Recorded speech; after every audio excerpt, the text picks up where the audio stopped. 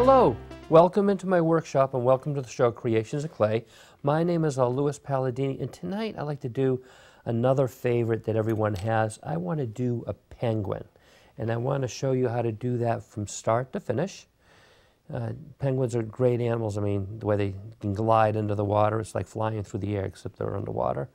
And I will show you how to do that. I want to show you the types of clay that you can use. There's an oil-based clay such as this, which never hardens. This is the one I always used to use when I was a little kid. I loved it because I'd make the sculptures, and then when I got tired of them, I just make new ones. Another type of clay that you can use that can be bought in an art store is an air hardening clay such as this, which can be which will harden like in two hours or overnight, and then you can paint it so you'd have a permanent sculpture. My preference for the clay is a clay called Super Sculpey, which can be baked in the oven about 275 degrees for about 15 to 20 minutes. You can drill it, sand it. You can make a tremendous amount of detail, and that's why I love it. The size balls of clay that we'll be using tonight, I'll show you. We're going to be using this size ball of clay here for the base, and it's, it's going to be like the snow base. The other size balls of clay that we'll be using are these two right here, which are, this is we're going to, we're going to make the wings or the flippers on the side. And then these two balls, we got two balls of clay here that are in front that I'm holding right here. Those will be used for the feet. And then this little ball of clay here will, that you see here, I'll hold it so you can see it a little better. That's going to be used for the beak. And then for the body, we are going to be using this size ball of clay right here. I'll show you, the first thing that we want to make is the base. And I'll show you, which is this right here. You see this nice little white base that the penguin is standing on? And we're going to make that little snow base. And I'll show you how we're going to do that. We're going to take this ball of clay here. And I'm going to take and just ply at my fingers like this. Just like this. And just kind of work it like that. See how we're doing that? Make it nice and flat. And then what we're going to do is I'm going to put it and I'm going to tap it on the table. See this? I just, I just take my fingers. See I'm just pushing down on that? Just like that. Just going to push like that. It's nice because now we got this nice flat base on this side. But on the other side, I'm going to show you, we want to make some texture. So one of the things we'll be using tonight is tin foil, which can be bought, you know, in any uh, supermarket or, you know, stores like that. And you crumble it up. And then what we do is we're going to take and I'm going to push down like that. See that? That's going to give it the nice snow-like texture. Just like that. And I'm just going to go all the way around. See that? You can use both hands. And now, as you can see, see that really nice texture that was made with the tinfoil? It's really nice and that will, looks just like the snow. So we're going to proceed to make the next part, which is going to be the body, which will be this piece right here. I'll show you. We're going to be making this piece here, the head down to the tail. And I'll show you how to do that. I'm going to take this ball of clay right here, and I'm going to take it and lengthen it out a little bit. This, I'm going to squeeze it. It's almost like a potato shape right now. And what we're going to do is I'm going to take, and see how this, I'm just kind of trying to make this round up here, because this is going to be the head. So I'm just going to take and try to make that round shape. And see, I'm kind of pulling on this too to pull it out. Just take the, your fingers like that and just pull it out like that. And then what I want to do is I want to make a little small tail eh, on the penguin. See that I'm doing that? I'm taking a, may almost make it like a little point. And that's when you can see it from the side. So what I want to do is just kind of work it like that. And just want to make sure that the shape, just kind of ply it in your hands like I am. And one of the things I want to do is I want to smooth them out a little bit. So I'm going to take my thumb, see that? Just take and make them a little smoother. That way. Because they're very, uh, when they get in the water, you know, instead of being aerodynamic like a bird, they're they, under the water, they're nice and smooth so they can glide right through the water very quickly. So we got that. Just like that.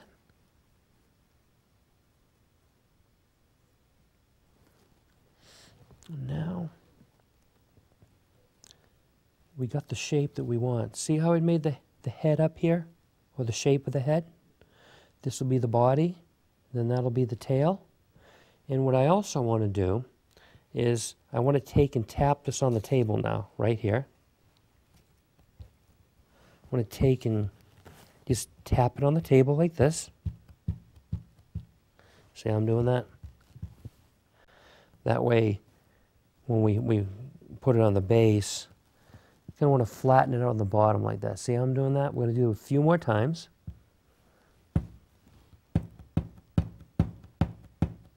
just like that. So the next thing that we want to work on is we want to make the feet. And I'll show you how to do that. The feet, which are right here, see how they're painted orange? They got like three little toes on each foot. I'll show you how to make that shape. We're going to proceed to do that. So we're going to take this ball of clay here, and you want to take and flatten it out like this between your fingers. See how we're, we're flattening this out? Just flatten it out. See how I did that? And the shape that you want is this shape right here. The next thing that we're going to do is I'm going to take and I'm going to make the toes. So I'm going to see how this, I'm going to take this, pinch it between my fingers, just like that. See how I just made that, pulled it out? We're going to do the same thing here. And I'm going to pull out another toe. Just kind of take and pull. See I'm doing that? And then we're going to make the third toe. Just taking it, you pull it out. What we're going to do is, I'll show you the shape that we want.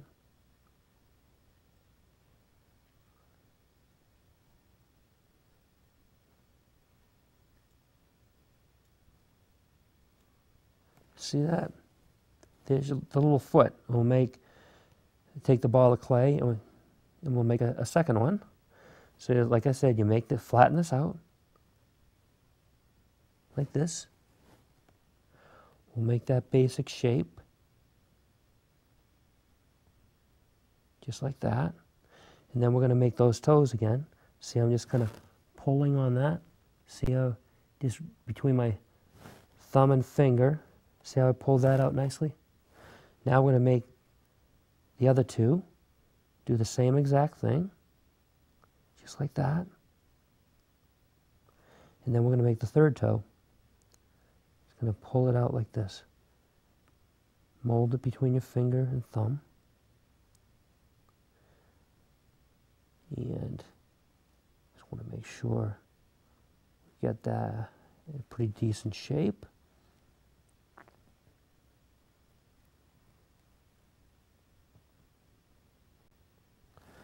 you can see that.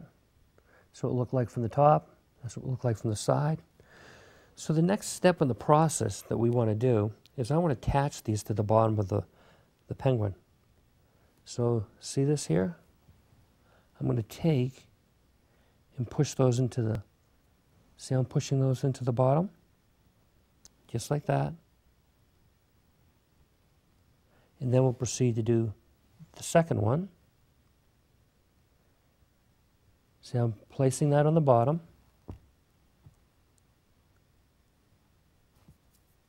And then right there, see how we did that? See, and then take your finger and just press that in like that. Just like that. See how we did that? Just push it in like that. And now you can see the two feet that we had made. Pretty cool. Very simple, very basic. The next thing that I want to do is I want to attach him to the base. So what we're going to do is take the base here, and we're going to take our penguin, and we're going to push him down into it like this. See I'm doing that? I'm moving that. Just kind of take and push him down, just like that. And we'll kind of push the feet down a little bit too.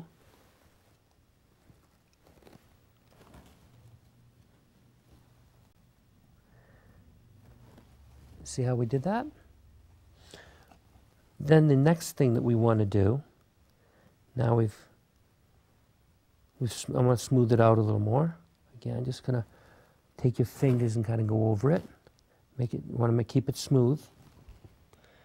The next thing I want to do is I want to make the beak, and I'll show you an example. See this orange beak right here? We're going to make that, that right there right now. And I'll show you how to do that. Going to take this, take it and take, and you want to make it into almost like a point. See I'm doing this? I'm pulling this out. See that? And then we're going to make the shape of the beak. You, almost, you want to have a little point at the end like this. See I'm doing that? Just like that. And that's what it should look like. See I made that nice little point and you curve it down? Now what we're going to do is we're going to take this and attach it to the penguin. So I'm going to take this here and I'm going to attach it right about here.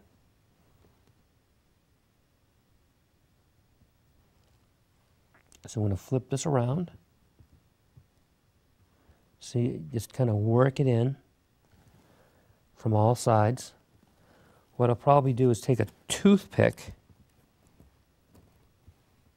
which can be bought like in a supermarket or a drugstore. And then when I take this, see how I'm doing this here? Take and just take that and push it up against the head. And we'll do it from the other side also. And then you want to get the underside. See I'm doing the underside there? Just, just like that. So we got that attached now. And the next thing that we want to do is we want to make the flippers or wings. See these two flippers here? We want to make these, which are white right here. And I'll show you how to do that. We're going to take this ball of clay here, and we're going to make into the shape of the flipper. So see how we take and flatten it out, but then I also want to take my fingers and go from the finger and thumb from the side See, I'm kind of shaping that into the shape of the flipper like that. You want to do that. So we got that. And we'll just keep working, making that shape. Flatten it out. Just want to make sure I got the right shape. See how we're doing this? That's the shape that you want. And I'll just, I'll just flatten it out a little more. And just like, just like that. And then what I want to do is I want to make another one for the other side. This will be the right side. I'm going to pick this piece of clay up here. And we'll do the exact same thing. See how we flatten it out again between our fingers and finger and thumb. And then you, you then from the side, see I'm creating that shape of the flipper. So flatten it out like this. But then you also want to start to create that shape with a flipper like this. So we just keep working it, flattening it out. And just like that. Now what I want to do is I want to compare it to the other one. I want to make sure they're approximately the same size. See how they're approximately the same size? What I want to do now is I want to attach them to the body.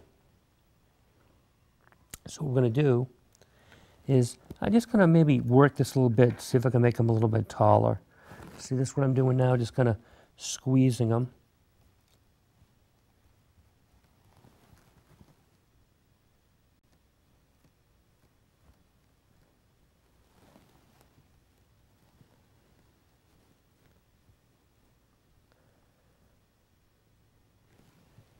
Yeah, and I just want to make sure everything's okay. So what I'm going to do is take this flipper here. See how we're just going to attach it to the back right here? See how I just kind of push that in like that? So you're just going to take and work it like that. See how we're doing that? Just take that. And then what I'm going to do is I'm going to do the exact same thing on the other side. Let me put this down. I just want to make sure it's about right. And I'm going to take and put that, see like that? Just take and work it in like that. Just kind of work it. And then what we want to do is we want to work it from the front also. So want to make sure everything looks all right. We can take this toothpick, see how I'm taking this? And kind of push it up and attach it from this side also. That way it doesn't come off. It's taken, and then I'm going to go to the other side and do the exact same thing.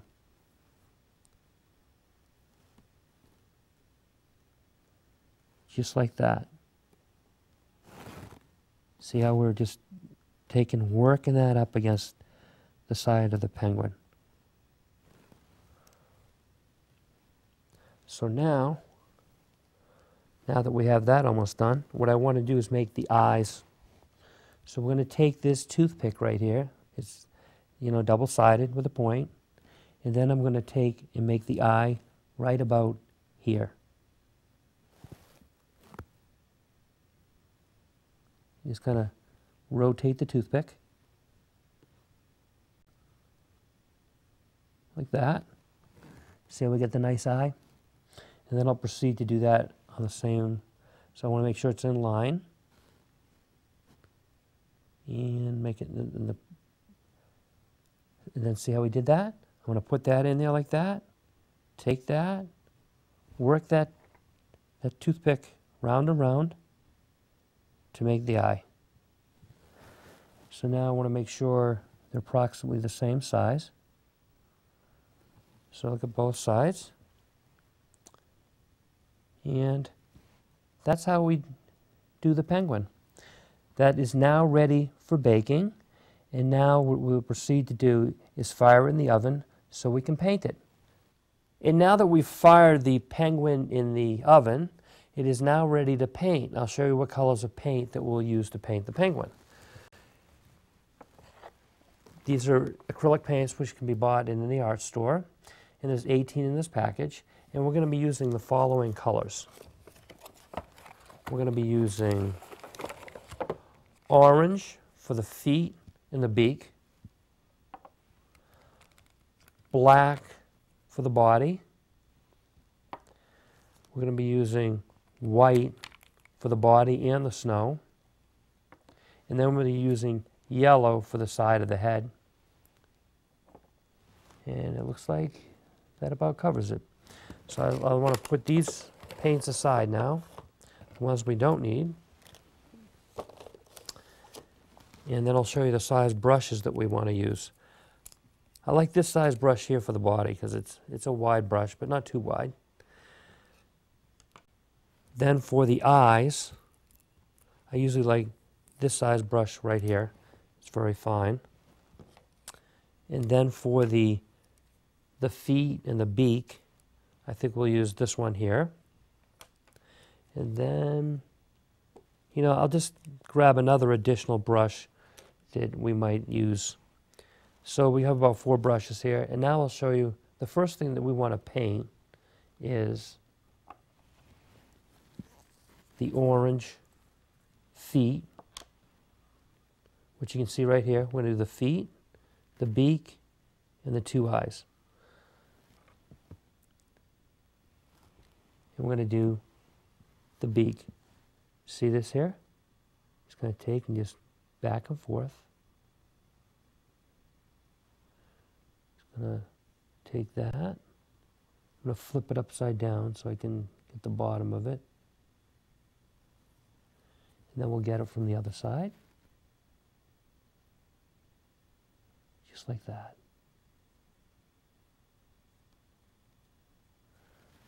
Send it back and forth. The next thing that I want to do is I want to do the feet, which are right here. Just going to take, do the feet. just take and show it from the side, just kind of do that. See how we did that? And I'll show you we'll do the other side the same way. I'll show you that. See how we got that.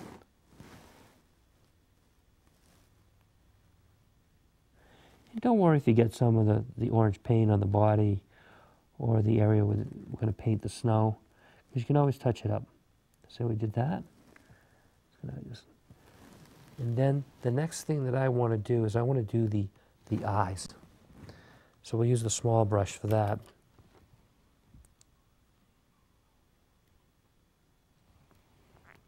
And we're going to do is take this,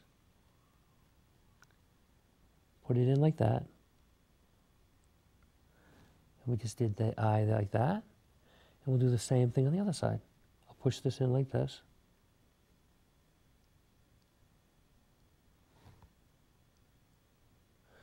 See how nicely that was done?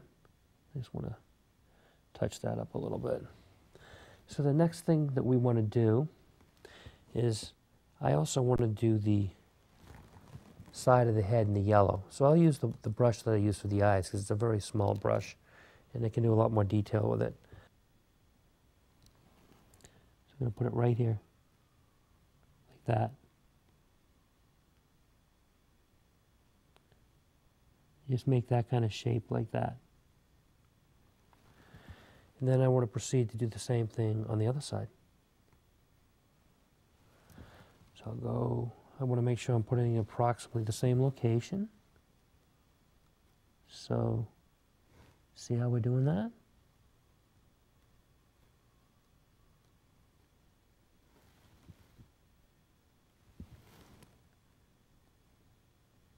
Just like that.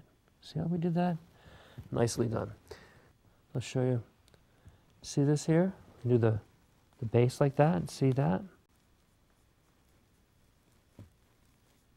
Just to go back and forth to create that snow. Do you see how I'm doing that? Then what I want to do is get it, kind of sneak it up there in the center. If you get some on the feet, we can always touch it up again afterward. So just kind of paint it white like that.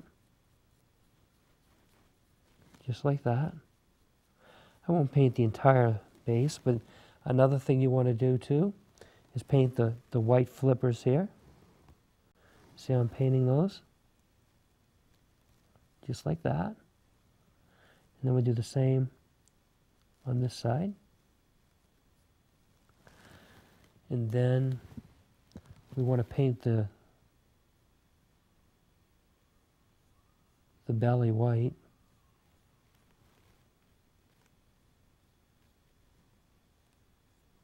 See how we're painting that? Now, just like that, add a little more white there. And that's basically the shape that you want for the front, for the white. See how we did that? And then the next thing that we want to do is we want to paint the penguin black. And Now we're going to paint the nice black body. See this here? I'll flip them around. So you can see, see how we're doing the, the black? Just like this.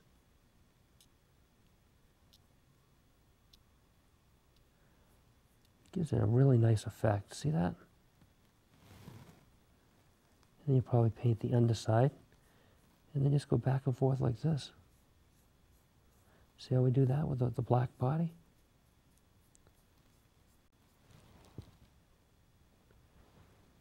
Can start from the top of the head and work our way down.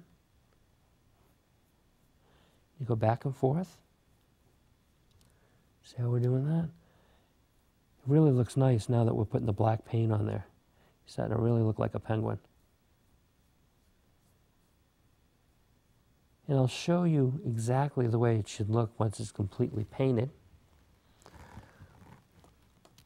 I'll put him down over here.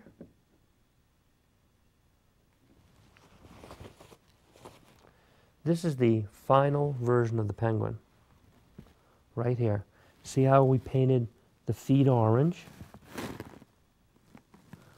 We painted the beak orange, the orange eye, the yellow on the side of the head, on both sides. See that?